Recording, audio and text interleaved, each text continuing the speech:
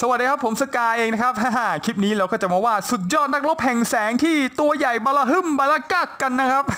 ซึ่งนั่นก็คือชินอุลตร้าแมนนั่นเอง ในที่สุดก็ถึงเวลาได้เก็บตังค์ไปดูฉบับแบบภาคไทยกันสักทีนะครับ แต่ถ้าขาดใครพลาดไม่มีโอกาสได้ไปดูก็มาวาดรูปชิวๆแบบผมได้เลยนะครับ ก็เหมือนเดิมเลยครับ เราก็จะวาดทรงกลมมาก่อนนะครับ เพื่อกำหนดว่าหัวเราจะใหญ่ประมาณไหนนะครับ แล้วก็มีเส้นตรงแนวตั้งเป็นเส้นจมูกนะครับ แนวนอนก็เป็นเส้นตา จากนั้นเราก็ทำคานขึ้นแก้มนะครับสองข้างให้มันห่างจากเส้นตรงกลางเท่าๆกันนะครับ จากนั้นเราก็วาดเป็นคางลงมาได้เลยนะครับ แบบที่ผมวาดเป็นก่อนหน้านี้แล้วนะครับ อ่า และนี่ก็คือโครงของหูนะครับ ก็จะเป็นหูแบบลักษณะเหลี่ยมๆนะครับ แบบอย่างนี้เลย แล้วก็หัวก็กลมๆเลยนะครับ ง่าย ๆ ไม่มีทรงผมนะครับ แล้วก็วาดให้มันแบบคล้ายๆหัวล้านเลยนี่ หลังจากนั้นเราก็จะมีอ่าวงแหวนนะครับหรือกงจักรอะไรก็แล้วแต่นะครับนี่ก็ปักไว้ตรงนี้เลยครับ มันจะเป็นคล้ายๆเหมือนเขาอุลตร้าแมนนะครับอ่าแบบนี้ครับง่ายๆครับอย่างนี้เลยอ่าหลังจากนั้นเราก็จะตวาดลูกตานะครับ ตาก็ง่ายๆเลยนะเพราะว่ามันไม่ใช่ตาของอ่าคาแรคเตอร์หรือตาคนนะครับ แต่มันเป็นตาทรงกลมเราใหญ่โตแล้วกับไข่ห่านนะครับ มันค่อนข้างจะโตใหญ่มากเลยอ่าก็ประมาณนี้นะครับ ไอช่วงปลายๆด้านข้างนี่ก็จะให้มันโค้งขึ้นไปหน่อยๆนะครับ มันจะได้ดูแววตาที่ค่อนข้างดุดันแล้วก็เท่นะครับแบบนี้เลยอ่านี่เราก็ได้แววตาที่เหมือนกับไข่ห่านที่มันโค้งเท่ๆนะครับนี่อ่านี่ผมก็เหลาให้มันเข้มๆนิดนึงนะครับอ่าเพื่อเพื่อนๆจะได้เห็นชัดๆนะครับ ใบหน้าอันหล่อเหลานะครับอ่า คือหน้าก็จะออกทรงๆคล้ายๆ กับพระพุทธรูปนะครับอ่าหรืออาจจะคล้ายๆ กับมนุษย์ต่างดาวนะครับ มันจะเป็นตาโตๆอ่า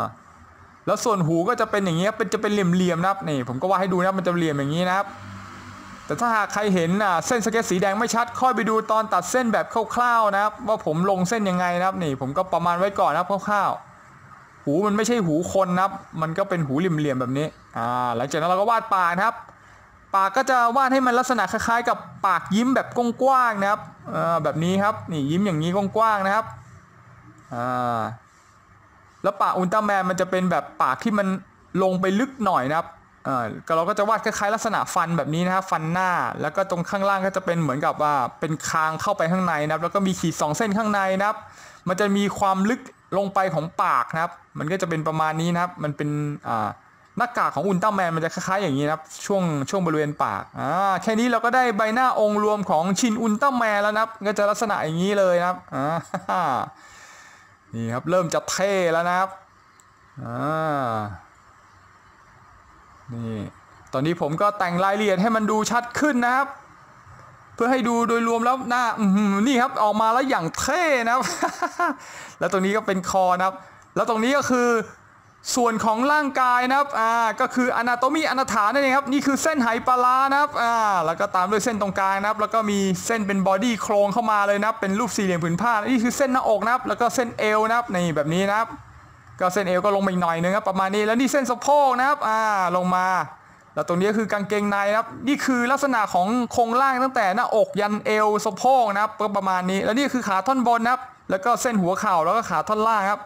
นี่ขาท่อนบนเส้นหัวเข่าแล้วก็ขาท่อนล่างนะแบบนี้เลยครับง่ายๆอ่าต่อต่อไปก็จะเป็นอ่าหัวไหล่ครับกลมๆเล็กๆครับประมาณนี้อ่านี่ครับสองข้างเลยนะครับ แล้วตรงนี้ก็จะเป็นแขนท่อนบนนะครับฟื้บมาเป็นท่อนๆเลยนะครับ จากนั้นแล้วก็นี่คือประมาณข้อศอกนะครับ แล้วก็แขนท่อนล่างนะครับลากมาอย่างนี้อ่า เดี๋ยวผมขัดเถิบเข้ามาอีกนิดดีกว่าครับ มันกางแขนมากไปครับ เราสามารถปรับได้นะครับ ถ้าเราอยากจะให้มันวางไว้ตรงแนวแนวไหนนะครับ แล้วนี่คือมือนะครับนะประมาณนี้ อีกข้างก็ทำเช่นกันเลยนะครับ แขนท่อนบนนะครับ แล้วตรงนั้นก็คือเส้นเส้นเส้นข้อศอกนะครับ แล้วก็แขนท่อนล่างแล้วก็มือนะครับแบบนี้ นี่นี่คือการอนาโตมีอนาถาแบบคร่าวๆนะ มันก็จะเป็นประมาณนี้นะครับ ที่เหลือก็คือการเติมรายละเอียดนะครับ อ่า แล้วนี่คือไหปลานะครับ อ่าก็วาดไปแบบนี้นี่คือหน้าอกนะครับฟืบเติมไปเลยนะครับ ให้มันอยู่ประมาณใกล้ ๆ กับเส้นหน้าอกที่เราขีดไว้นะครับ ก็คร่าๆประมาณนี้นะครับและนี่คือเอ่อตรงหัวไหล่นะครับอ่าอุลตร้าแมนมันก็จะง่ายง่ายหน่อยตรงที่ว่ามันไม่มันไม่ได้ใส่เสื้อผ้านะครับ มันจะมีแค่อ่าลวดลายบนตัวเท่านั้นเอง ฉะนั้นการวาดก็จะไม่ยากนะครับ แต่มันจะไม่ยากตรงสัดส่วนเนี่ยแหละครับ ว่าจะทำไงให้มันวาดให้มันดูทรงพลังนะครับ ซึ่งผมอาจจะวาดไม่เหมือนสัดส่วนเหมือนกับชินอุลตร้าแมนนะเพราะว่าชินอุลตร้าแมนนี่ฉบับ original ที่ผมเห็นนี่มัน ผมรู้สึกว่ามันค่อนข้างจะตัวแบบยาวๆ เหมือนกับผอมแห้งแรงน้อยนะครับ ซึ่งผมจะวาดชินอุลตร้าแมนให้มันดูแบบมีพลังมีกล้ามขึ้นมานิดๆหน่อยๆนะครับ ซึ่งนั่นก็คือชินอุลตร้าแมนฉบับเวอร์ชันสกายนั่นเองนะครับ อาจจะไม่เหมือน original นะครับผมไม่อยากจะให้มันผอมนะผมต้องการให้มันดูทรงพลังนะครับแล้วนี่ก็คือที่ผมวาดลายนะครับ ลายมันก็จะคล้ายลายหน้าอกมันจะคล้ายๆลายสามง่ามนะครับ เนี่ยเนี่ยลากขึ้นไปอย่างนี้นะครับ จากหน้าอกลากขึ้นไป เพื่อนๆอาจจะฟังดูแล้วงงนะเพราะว่ามันนี่มันเป็นลายแดงนะมันเป็นลายแบบคล้ายๆลาย tattoo ลายรอยสักนะเป็นคล้ายๆ แบบคล้ายๆนี่ครับคล้ายๆสามง่ามนะครับอย่างเนี้ยแล้วก็ลากขึ้นไปครับ จากหน้าอกด้านล่างก็ลากขึ้นไปจนใกล้ๆกับหัวไหล่นะครับ ติดกับหัวไหล่เนี่ยแบบนี้ครับ เนี่ยประมาณนี้นะครับนี่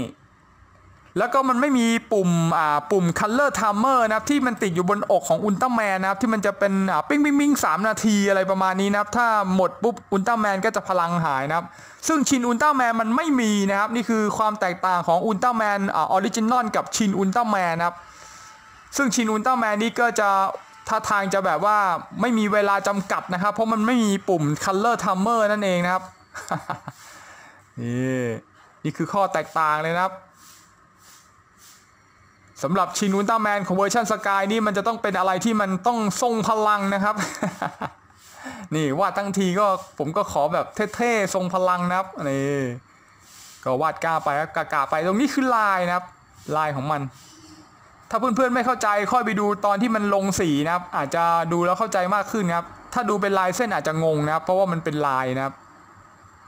อ่าอันนี้ก็คือมือนะครับ นิ้วมือนิ้วโป้งนะครับนี่ มือก็วาดวาดไปเลยครับนิ้วโป้งนิ้วชี้มั่วๆไปครับแบบนี้ นี่ประมาณนี้นะครับฟืบโอเค เราเติมลายตรงนี้อีกหน่อยนะครับอ่าครบนี่จัดสัดส่วนครับนี่มันต้องมีกล้ามเนื้อหน่อยๆนะครับ โอเค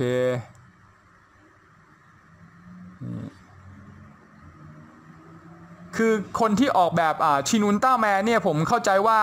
ไอไออุลตร้าแมนตอนตัวแรก ๆ ที่เพิ่งจะคิดค้นกันมานี่สงสัยจะเป็นแบบอ่าตัวเรียวๆยาวๆนะครับ มันจะดูออกเป็นแบบมนุษย์ต่างดาวที่มันตัวผอมๆนะครับ แต่ผมดูตัวผอมๆแล้วมันรู้สึกว่ามันมันไม่น่าจะปกป้องโลกได้เลยนะครับเออเวอร์ชันผมก็ผมขอให้มันเป็นแบบอ่ากล้ามใหญ่ ๆ แล้วกันน่ะ กล้ามแบบพอประมาณนะครับแบบนี้เลย แล้วนี่คือลายของขานะครับ ตรงหัวเข่าก็จะแหลมๆแบบนี้นี่ฟื้ไปครับ นี่คือช่วงเอวช่วงสะโพกนะครับ นี่คือช่วงขาขาก็ให้มันน่องมันอุ้มๆนิดนึงนะครับ เพื่อจะให้เหมือนกับลักษณะเหมือนกับดูแล้วมีกล้ามกล้ามที่น่องนะครับอ่าแล้วตรงนี้คือลายตรงหัวเข่านะครับ ก็แหลมๆไม่มีอะไรนะครับง่าย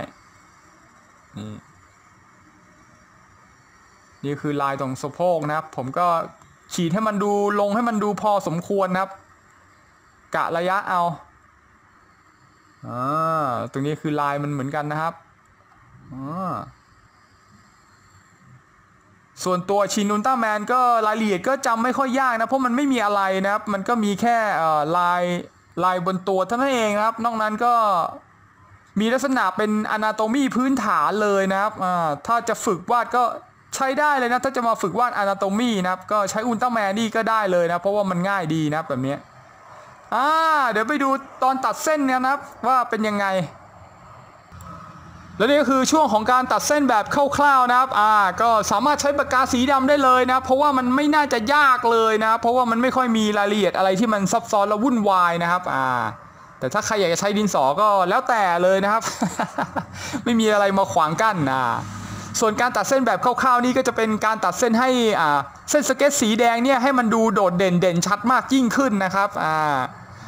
พื้นฐานของการเส้นสเก็ตสีแดงก็จะมีแค่อ่าการล่างอนาโตมีแบบคร่าวๆหรืออนาโตมีอนาถาที่ผมใช้กันอยู่นี่ยครับก็แค่นั้นเองนะที่เป็นรูปลักษณ์เหลี่ยมๆนะครับส่วนเส้นสีแดงที่หลังจากที่อ่าล่างอนาโตมีแล้วเราใช้เส้นสีแดงอีกนี่คือแค่เติมรายละเอียด ให้มันเพิ่มขึ้นเท่านั้นเองนะครับอ่า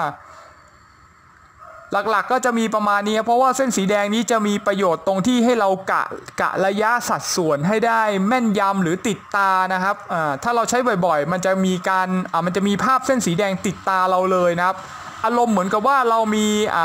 สายเนตรเนตรสายตานะครับที่มันจะมีตารางอยู่ในในสมองเลยนะครับเดี๋ยวไปดูกันนะว่าผมตัด